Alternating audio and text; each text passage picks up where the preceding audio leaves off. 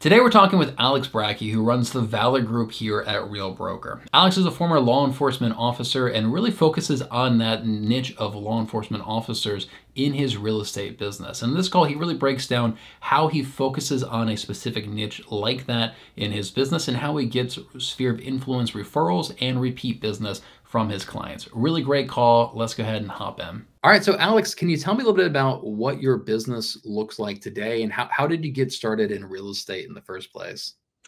Yeah, so uh, I've uh, this is my eleventh year in the business. Um, prior to real estate, I was a cop. Uh, I was in law enforcement almost ten years, uh, and so uh, came from that world. Really didn't know anything about business. Didn't have family in business, uh, so I really kind of you know was figuring it out as I went. Um, mm-hmm. I'll say that you know the one thing that I, I I did right early on is I, as I hired a coach. I you know, had a coach and have had a coach almost the entire time I've been in business. Um, so you know, 11 years in now, uh, I I have a team. I've owned a team for for many years now. Uh, the, the brand that we we roll with right now is uh, the Valor Group, uh, where most of us were prior military, law enforcement, firefighters, and allies. Um, we're right outside Washington D.C., so obviously, you know, we, have got a lot of uh, like minds that that we we help uh, you know buy and sell homes uh, with, um, and so we've got we've got six agents on the team plus myself. We've got a full time admin uh, as well as a like video editor, social media guy um, on the back end as well. Okay, wow, and and do you think that um, being a former career in law enforcement has that influenced your your business? Um and does that oh like my gosh.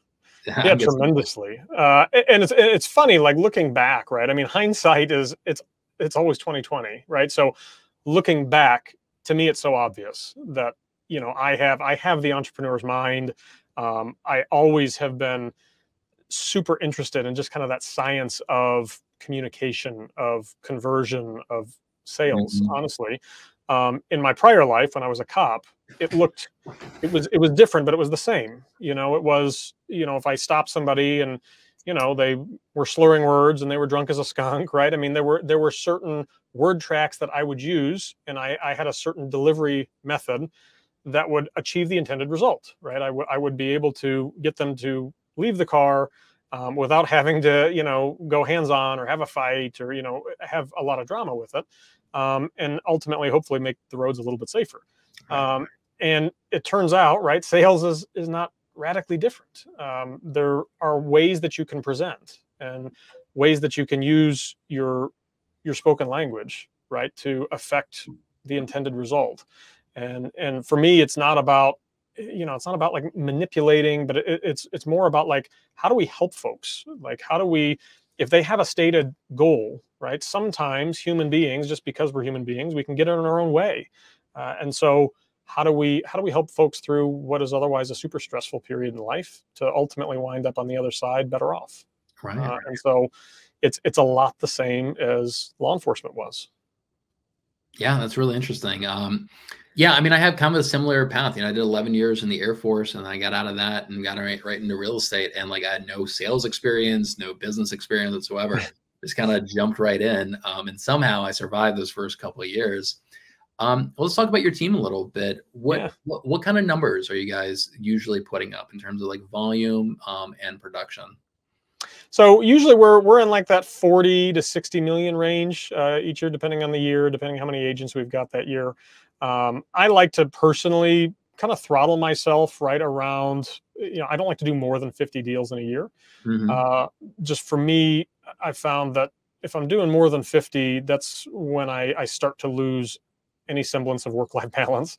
Yeah. Uh, and it's important to me. And I've got I've got a wife. I've got three young kids at home. Like I, I want to I want to be present um, yeah. because I, I am a believer that look, all the money in the world means nothing uh, if you know you don't have uh, you know the other side of of life. Uh, so yeah, we um, I, I, have enough business, and I, I'm in. I feel very fortunate that yeah, I can kind of pick and choose who I work with. Not so much who, but where. You know, whereas at the beginning of my career, I would have driven you know two and a half hours if I had to to to work with a, a buyer client and show houses two hours away. Um, and, and, I don't. I'm fortunate that I don't have to do that anymore. Um, I can kind of stay closer to home and in the areas I really, really know and, and really like to serve.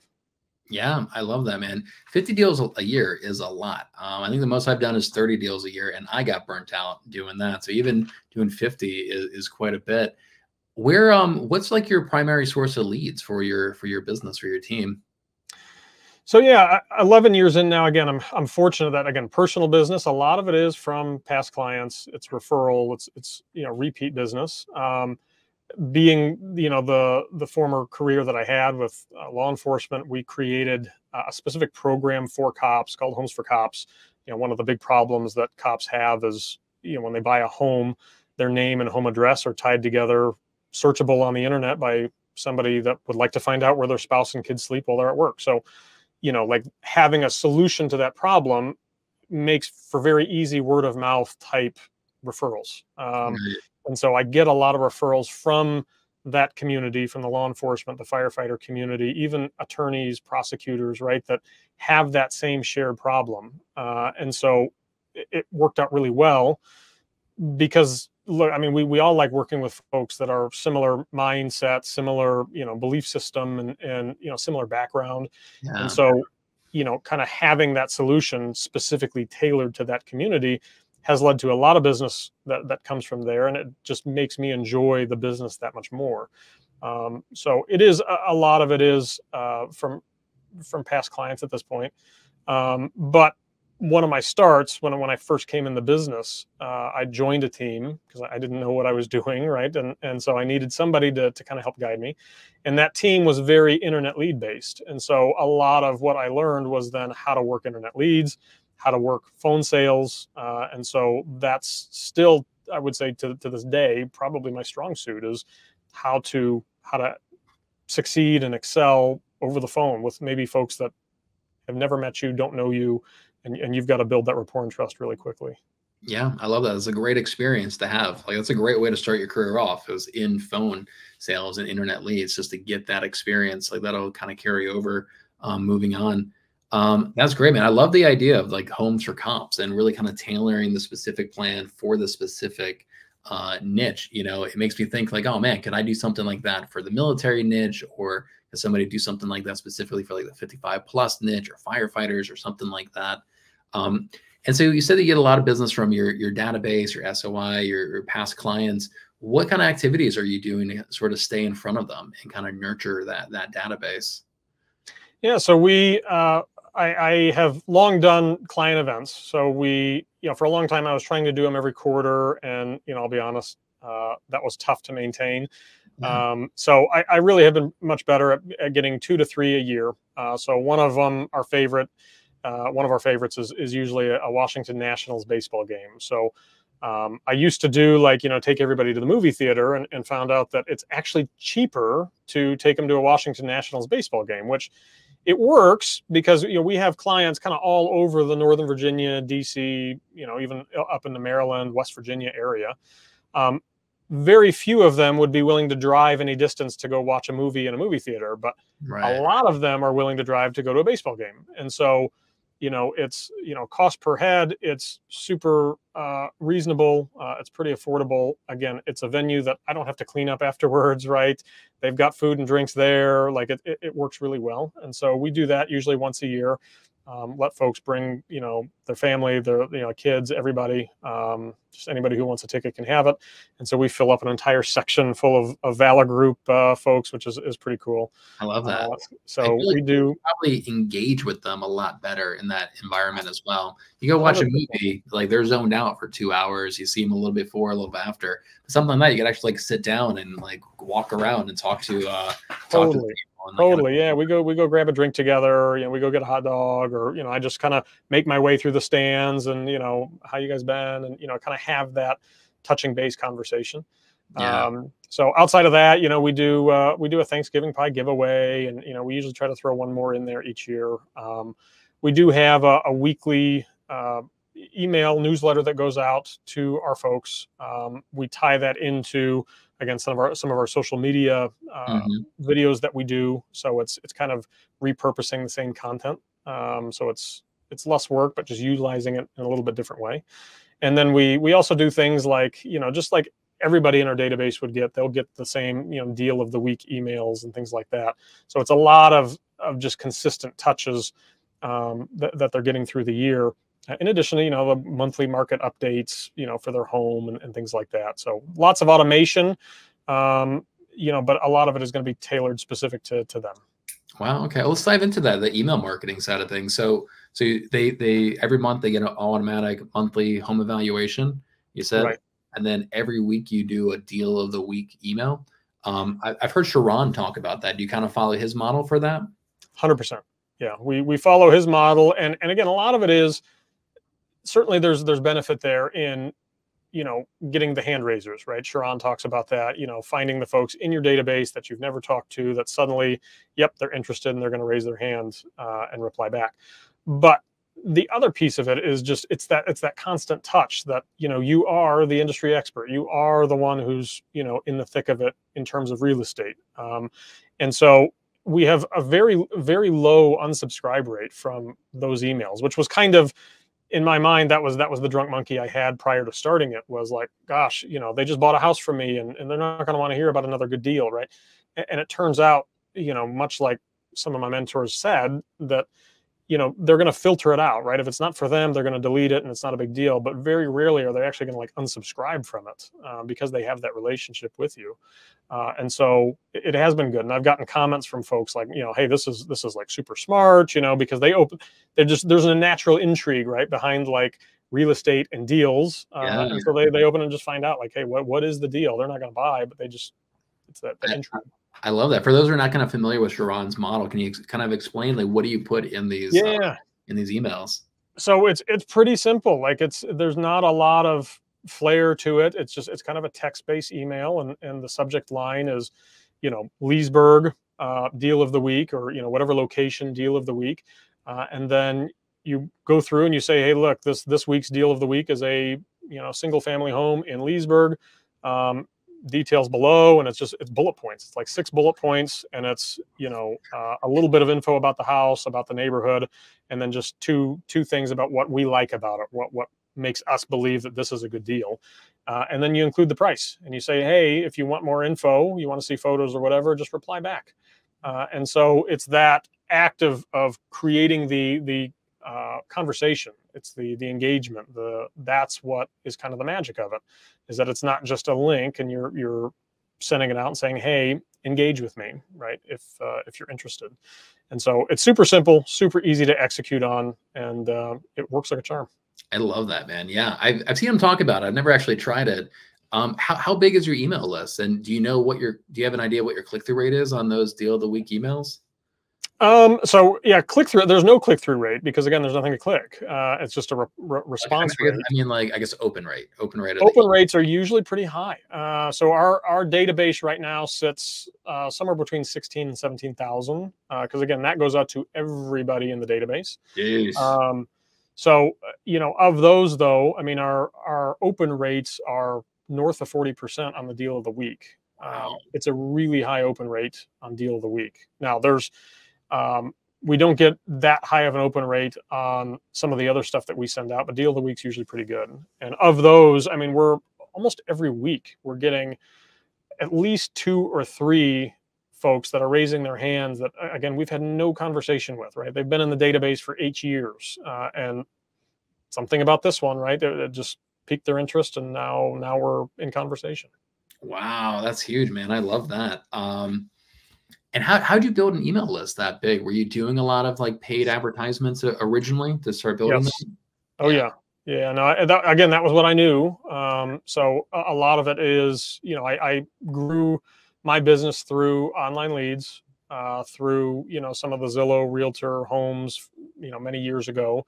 Um, but then also I, I, was a cold caller. I would I would call expireds. I would circle dial. I would you know all of that stuff. And so just after you know again I'm 11 years in from having you know doing that consistently, um, I, have built a, a, you know okay size database. Um, and and a lot of those are. I mean now we we have refined uh, some of that online lead gen and you know for like all of our listings we were proactively marketing those you know outside the mls you know doing the our, our own marketing um, you know that, that we're in control of and we can see and you know, we can point folks where we want them to go. Um, so we still are, are doing a lot of that, and, and that's like just by the numbers where a lot of the leads come from is, is our own marketing efforts. Um, but yeah, continuing to just grow that database and and you know hopefully bring in more folks that that we can serve. Yeah, I love that. And the so you said you send that out once a week, and then you also send out another weekly email. Um, tell me more about that weekly email. So you said you have your social media post in there. Do you put anything else like market stats or anything?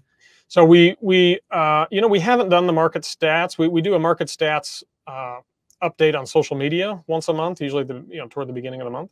Um, but uh, yeah, typically that email is is just like I, I usually try to do one topic per week that is more like consumer focused. You mm-hmm. know, it's it's the the five mistakes people make when buying a house, or you know something like that. Uh, and so that makes it really good for social media content. But then we can also take that and create just an easy easy to consume video for consumers but it also translates then really easily into a blog uh, and so we can send that out in an email uh, that directs them to the blog with the video embedded right there um, and it's it's just super easy content you know that we're using both on social media on reels on a blog on you know full length video um, it's it's very easy to multi-purpose that I love that. Yeah, that's what I love about video. Like, you know, it, people often talk about, like, well, you know, I want to get my videos to rank and I want them to generate me leads.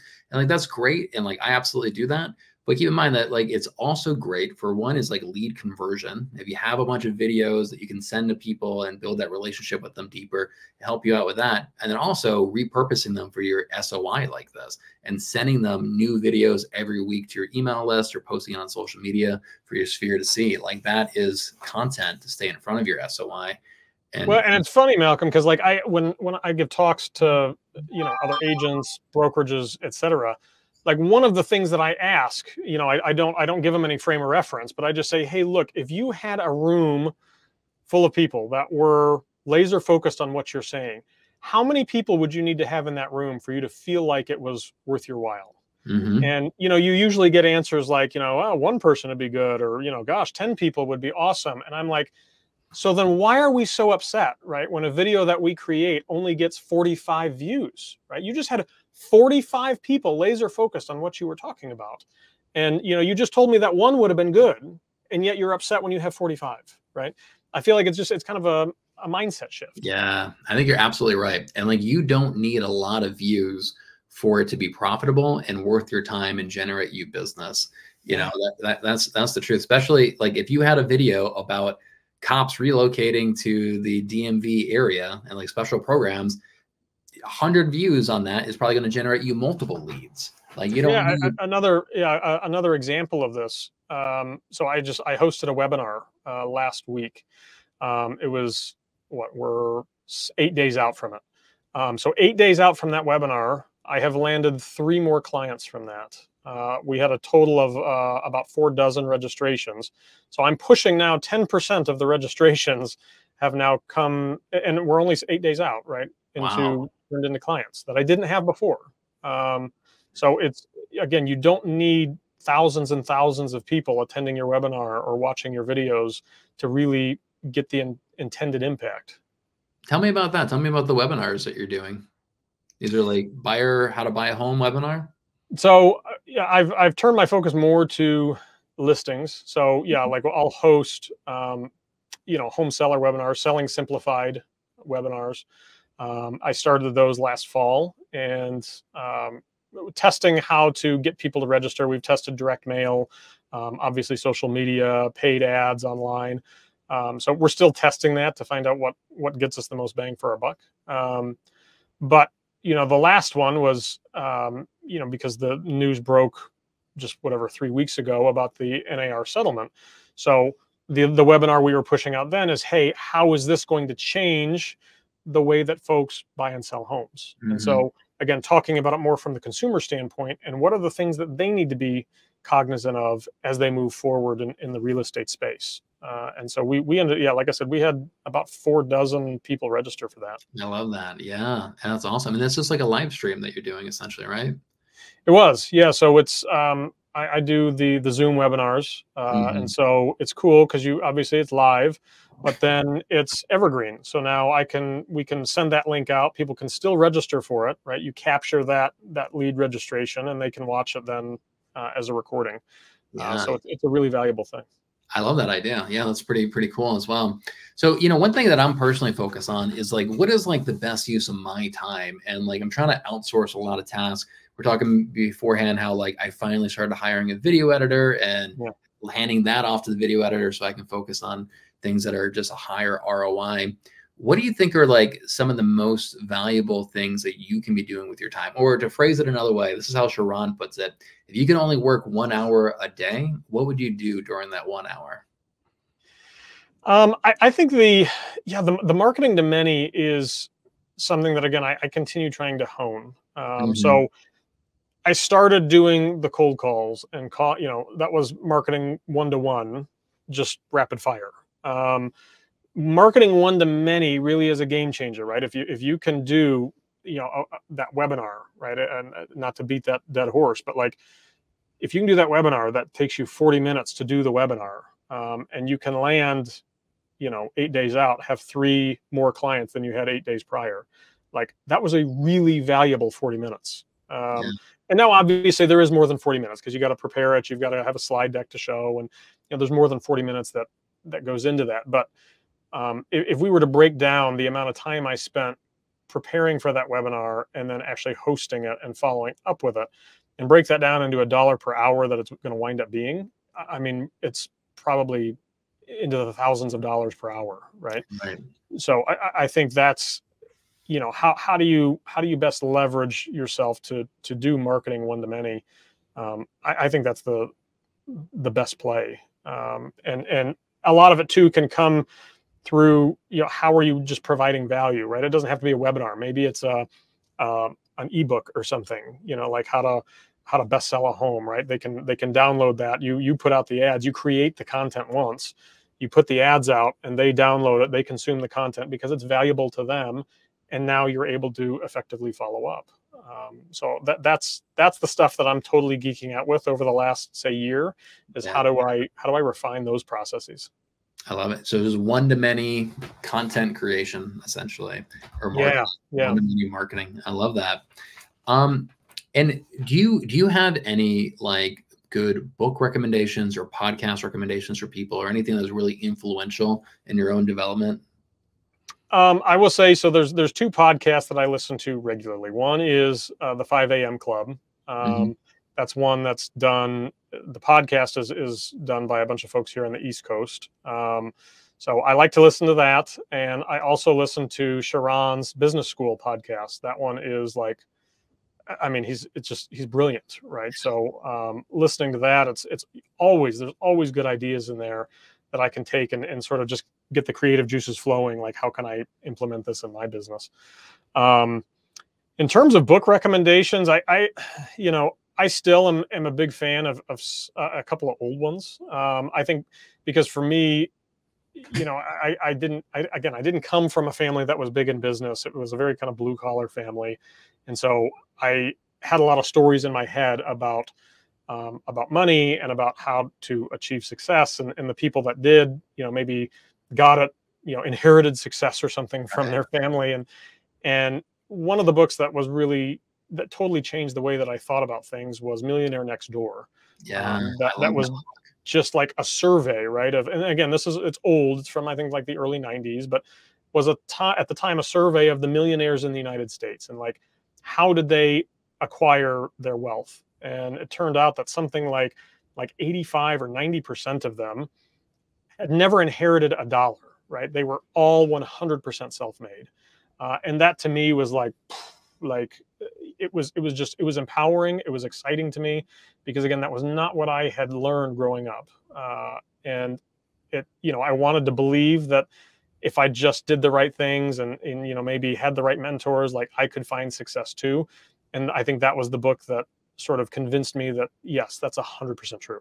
Yeah. Um, and so I, I love that i love that book and one of the big takeaways i got from that book was is saying that you know millionaires they're typically not the people that are buying a new car every single year and buying yeah. really flashy outfits and trying to show off their wealth. who that actually is is the people in the middle class that want everybody else to think they're far more successful than they actually are. That's and so I, true. Yeah, and I started recognizing that and looking at it and all over the place. And like most people that I know that are multimillionaires, they're very humble and they yep. actually they don't want to flaunt it because it does create kind of an odd dynamic like when somebody knows that you're super wealthy it's it, it just creates an odd like power dynamic almost and makes people uncomfortable sometimes. And so most millionaires are very humble and they don't flaunt that. They don't try to advertise like hey i'm a multimillionaire. It's those middle class people that are struggling that want you to think and they'll put themselves in debt just to make people think they're more successful than they are well, and it's so funny, dude, because again, coming from like the, the policing background, mm-hmm. like I mean, I, I understand the world through metaphors, right? And so I, I often think, you know, I see metaphors between, you know, business and what I did in law enforcement. And, you know, the, the people who I worked a lot of with drugs and, and interdiction and things like that in law enforcement. And the people who were the most successful in the drug game, like the ones that that, you know, you you would have never known it, right? They lived a quiet life in the suburbs, like you know, that you just would have had no idea that this mansion in you know outside of Washington D.C. was bought and paid for in cash from drugs, and you know, and and I think you know it's funny to me because it's you know there is kind of a parallel, right? Like like the people who actually have success oftentimes are, are the ones that are going to be the least boisterous about it. Um, yeah. And the ones that are the most, the loudest are often the ones that are kind of faking it, you know, trying to fake it to make it, trying to make a name for themselves because they don't really have the success to show, right? Um, and and that holds true, held true in that world, and it holds true now in my current life. Who would have thought these drug dealers are teaching you valuable life lessons? That's right. That's, that's right. That's, Good that's for them. that's yeah man and that is such a profound like realization for myself and actually i started being a lot less flashy uh, after kind of like reading that book. I, I, think it's a great book to read millionaire next door. All right alex if anybody wanted to reach out to you and kind of follow up what, what's a good way uh, what's your all your socials and a good way for people to contact you yeah, uh, you can hit me up on Instagram. That's uh, where I'm primarily at on social at Alex Bracke. Uh, I got I got really creative on that one. Uh, at Alex Bracke, um, you can DM me there, and uh, always happy to to uh, start a conversation. Yeah, that's great, man. All right, man. I really appreciate your time, and I'll, I'll see you around at the real events. Thanks, brother. Appreciate you. Yeah, bud. Bye. So I recently started a weekly email of free training here at Real Broker that's open to all agents at all brokerages. Every single week, I personally hand select what I think are the five most interesting live trainings that we have going on that week in the Real Academy, and I send that out to my email list. If you like free training you'd like to sign up for this weekly email, I have a link down in the description below. And if you'd like to see more interviews just like this on the Next Gen Agents Show, you can check out this playlist right here. Thanks so much for watching. and I'll see you in the next video.